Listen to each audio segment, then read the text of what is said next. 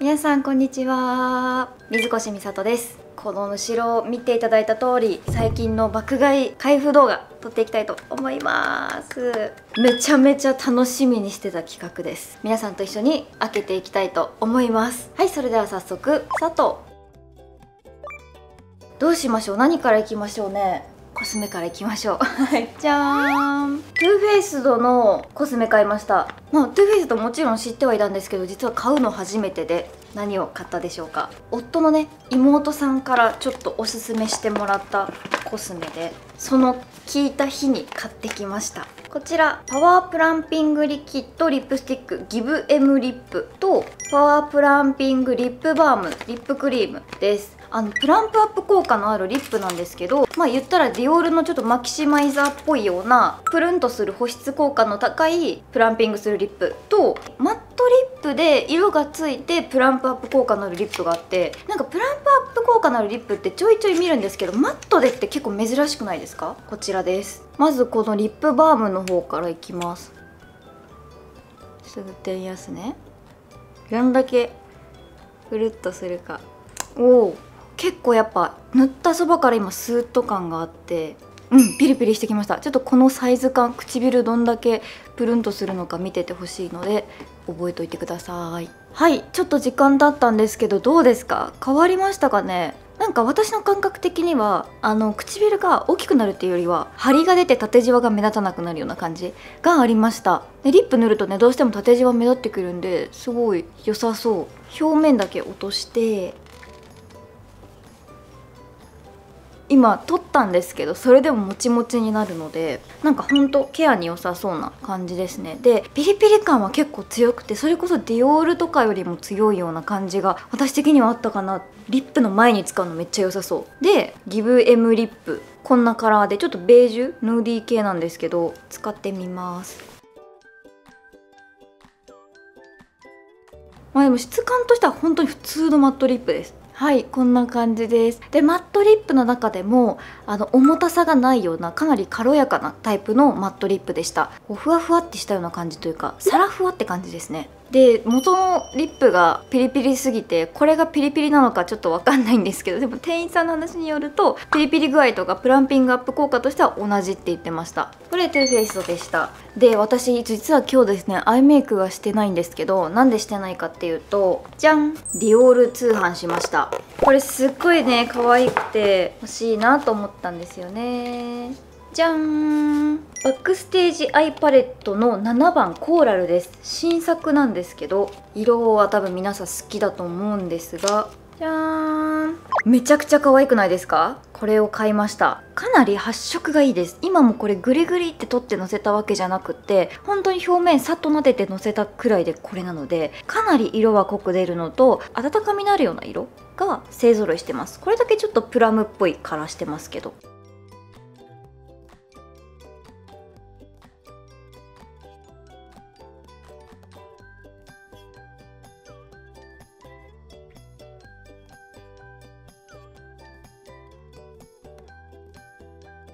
こんな感じです。もっとピンク寄せもできるし今みたいにちょっとオレンジ系もできるしピンク混じりもできるしめっちゃこれは個人的に結構ヒットな色です。ちょっとこれまた他の動画でも使いたいと思います。あの定番品で限定ではないので急がなくても大丈夫です。であと実はこれも買ったんですけどジル・スチュアートのすごい有名な下地イルミネーティングセラムプライマー UV の1番これですね。これはちょっと今試せないんですけど1回もこれ使ったことなくてこのシリーズを、うん、香りちょっとついてます。ちょっとピンクっぽいのついててあ伸びはすごく良くてしっとりめなテクスチャーです。ここライト分かりにくいかもですけどちょっとトーンアップしてます実際は。でツヤが出るようなアイテムなんですけど使用感は今のところ良さそうです。ちょっとこれもまた使ったらどこかでレビューしたいと思います。コスメまだあるんですけど先にこれにしようかな。コスメデコルテ。私の友達でデパコスがすごい好きな子がいてその子がめちゃめちゃ推してたクレンジング。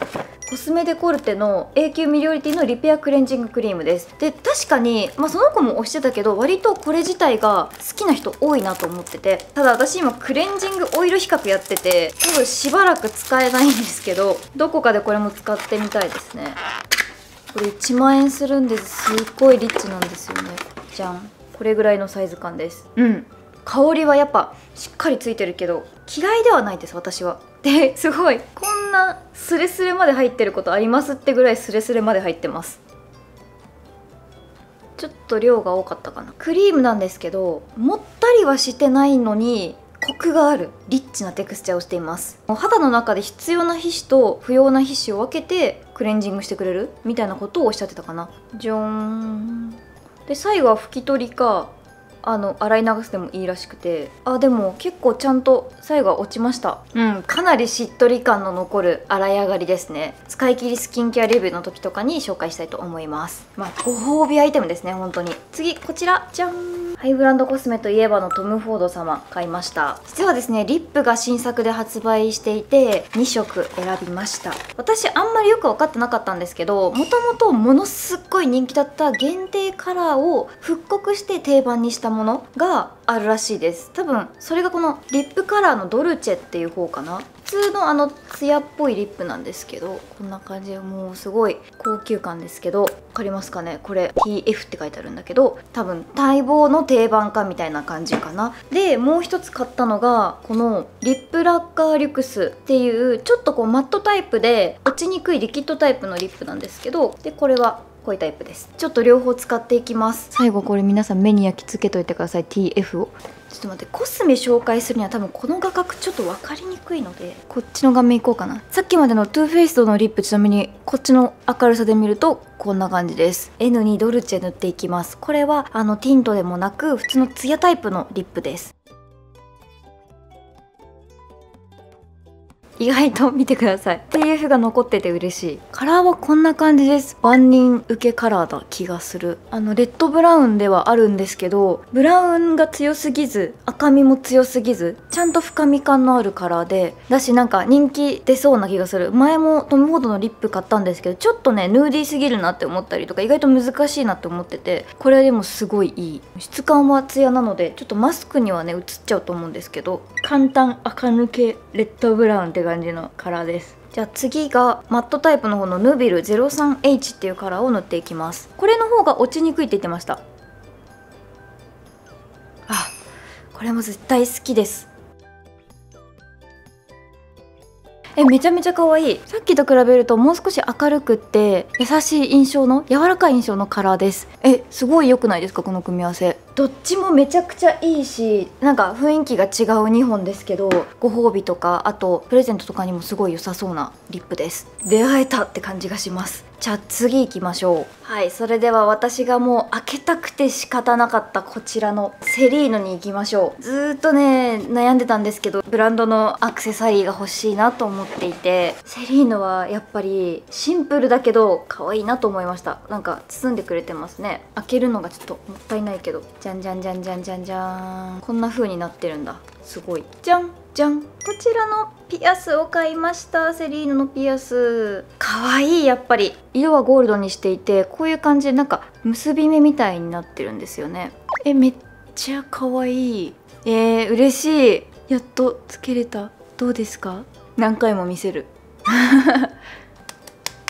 念願が叶いました。大切に大切に。ちょっとねピアスたまになくすんですけどさすがにこれはなくさないように大切に使いたいと思います。で調子に乗ってもう1個実はハイブランドのもの買ってしまったんですけど何だと思いますか？最近つけてる方が多くて欲しくなっちゃったんですよね。じゃんロエベ。私このアイテムサイズが合うものがいつもなくてこれならずり落ちないっていうので買ったんですよね。こちらです。じゃん。これは何でしょう？ベルトって思うかもなんですけどブレスレットです。で腕にこうやって巻きつけるとぴったりはまるんですよ。でサイズもその人の腕に合わせてくれるのでまずこう落ちることもないしすごいそこがいいなと思ってて夏ってデニムに T シャツとかまあデニムじゃないけど T シャツになんかとかすっごいシンプルな格好をするのが好きなのでそういう時に腕にあると寂しくないかなと思って買ってみました。どうでしょうか？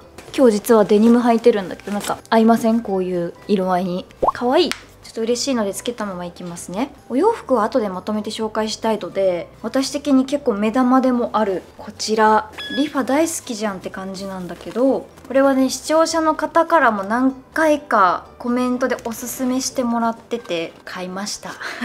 こちらシャワーヘッドです。欲しかったし気になってたんですけど買ってて。でこれまで今開けたんですよ。なのであのちょっと効果とかわからないんですけどここにカチカチっていうなんかモードを変えるところがついてて使い方としてはあのミストとストレートとジェットとパワーストレートっていうなんかモードの切り替えができるらしくて確かミストとかはもう顔に直接当てても大丈夫らしいです。でそれだけじゃなくってあの浴槽にこのシャワーヘッド突っ込んでおくとジャグジーみたいな感じで泡のバスタブみたいなのができるらしいです。それもなんか面白いですよね。今日ね使ってみようかなと思います。ちょっとまた動画撮りますね使ってるところ。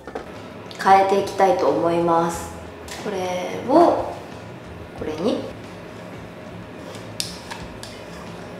ちゃ水食べてくる。そのまま作るのか。なおついた。こんな簡単なのかな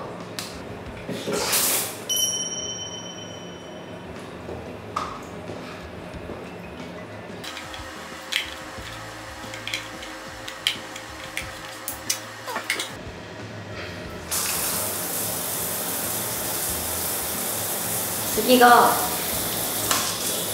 シャワーっぽい感じ。をもっとシャワーですね。最後がミスト。ミストすごいですね。なんかミストのイメージとしては真夏とかにめちゃくちゃ暑い道歩くとたまに都会とかだとなんか水出てる道あるじゃないですか。ショッピングモールのすぐそばとか。なんかあのそうそういう感じのミストです。顔に直接当てるのもいけそうな感じがします。あとは何だろう。お洋服紹介しようかな。実は今着てるこれも買ったやつなんですけど ZOZO タウンで服を買っていてまず靴からいこうかな。こちら。これもう履いちゃったやつです。ディズニーで。アーバンリサーチのブランドなのかな？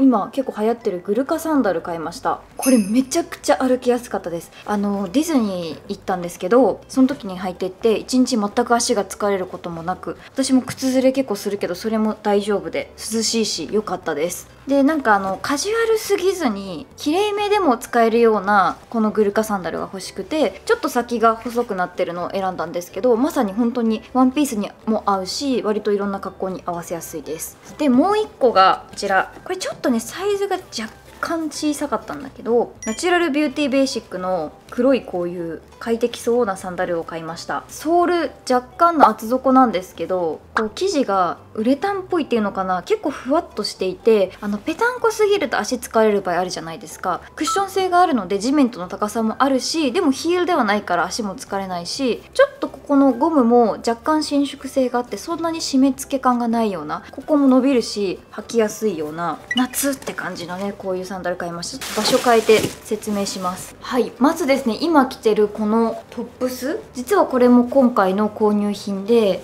これフリーズマートだったかなのアイテムです。実は結構長くてインしてたんだけどおへそここなんで結構本当にお尻の中間くらいまでくるような丈感をしています。で生地がなんというか朝っぽいようなものすごいこうカジュアルな感じの？で真っ白じゃなくってちょっとベージュがかっていてこういうステッチとかボタンの色とかとの配色がね可愛いですよね。あのちょっとパフスリーっぽい感じになってるんですけど若干長めで肘くらいまでくるような丈感になってます。なんか形はめちゃくちゃ可愛いんだけどちょっとカジュアルみたいなそんなすごいバランスの取れているトップスです。なので今日はそのカジュアルさを引き立てたくてデニムと合わせてるんですけど久々にちょっと感動したデニムというかこんな感じですごいあの大フィットって感じのパンツなんですよ。デニムで。おへその位置がここら辺なので結構ハイウエストでウエストももう本当にジャストサイズです。かつお尻の辺りはきつすぎないようなシルエットになっていてで裾はちょっとね広がってるんですけどなんだろうこんなにハイウエストでピタッ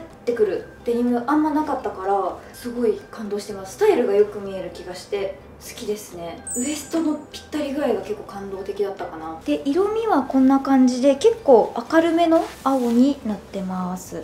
ケットもねここついてたりとか後ろもついてますねこんな感じで。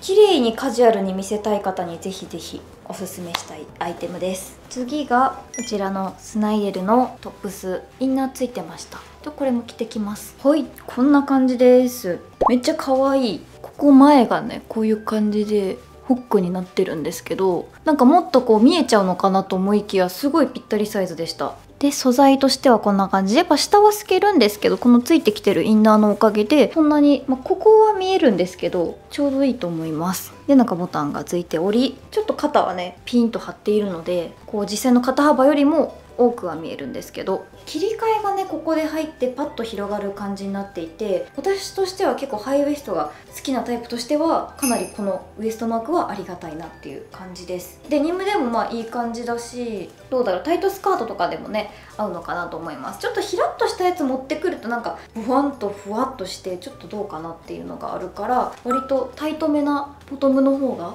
合いそうですが思ってた以上に可愛いこんな感じ。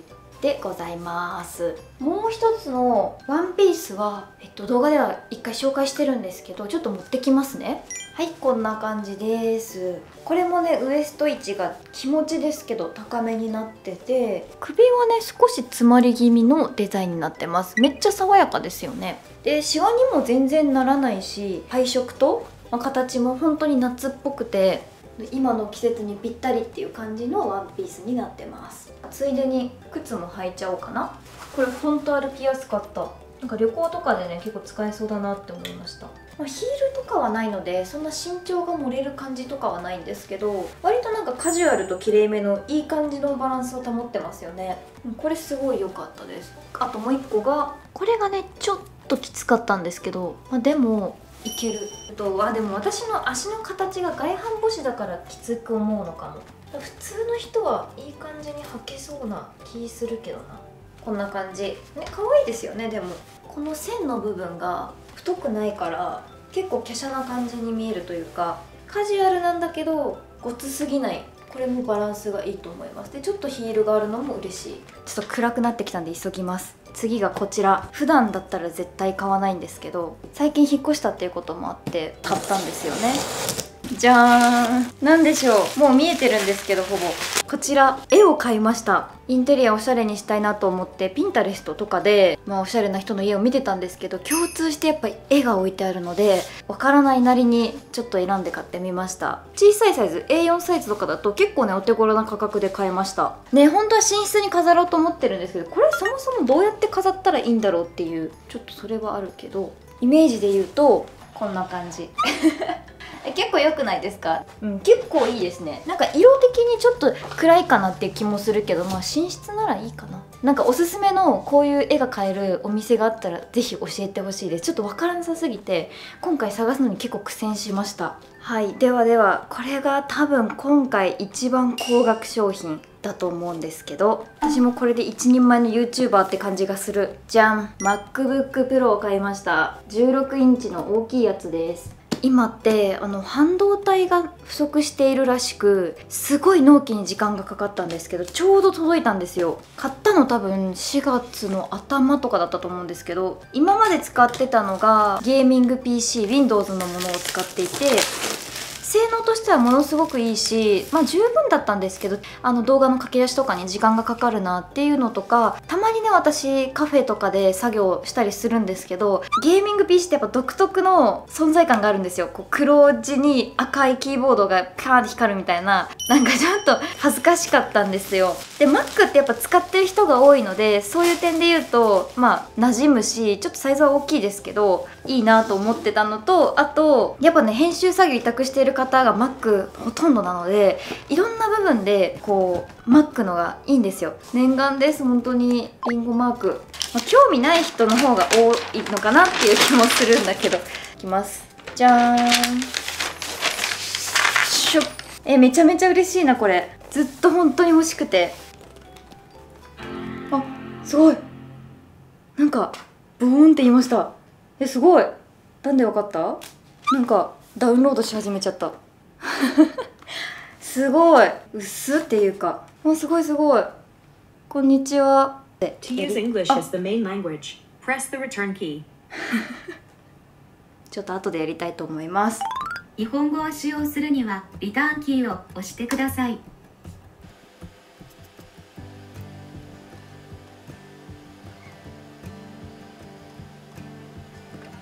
でそれに関連した商品なんですけどあの全然ね Mac だけでやってもよかったんですがモニターをつけたくて大きいこちらです。よいしょ。じゃん。で夫がねこれを使っていてすごいなんか作業がしやすいっていうことだったので私も買いました。これだけだとあの何て言うんですか本当にテレビみたいに置くことしかできないんですよ。こういうなんかアームから生えてるみたいにしたくて。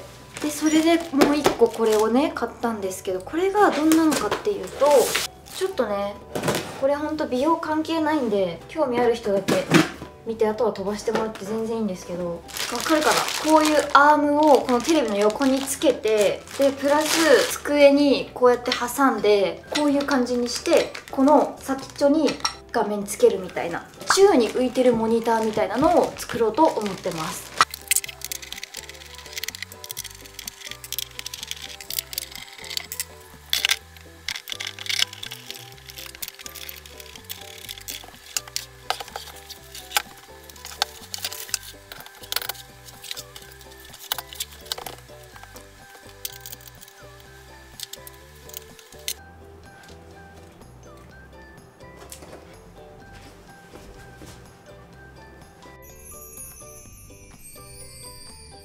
最後いきます。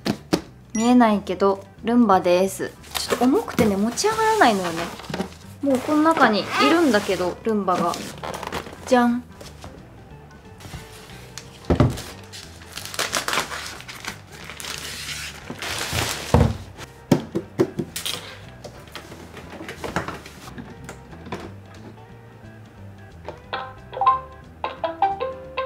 なんかアプリで登録したんですけどロボットに名前を付けてくださいって言われてる。え何がいいですか皆さん？うーん。ルンタンとか。ルンタンにしましょうか。かわいい。こんにちは。ルンタンです。ではでは準備が整ったので清掃してみます。一瞬。おおおお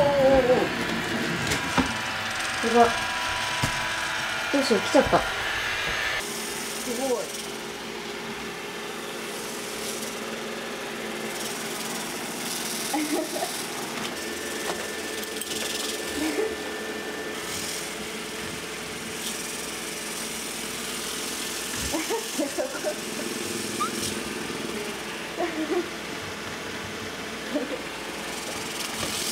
かわいそうになってきた。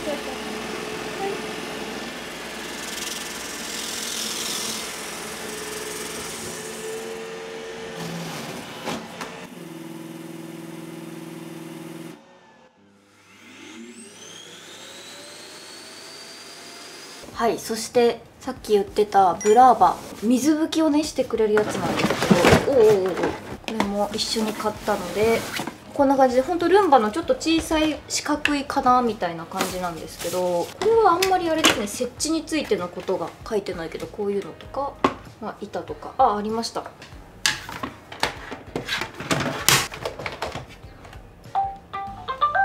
ロボットのセットアップが完了しました。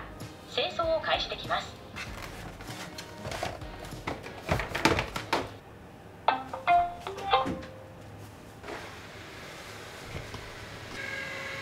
今は空拭きモードを使っています。あまあでも動き自体はねちょっと激しめですけどあのルンバよりは静かで同じような感じですね。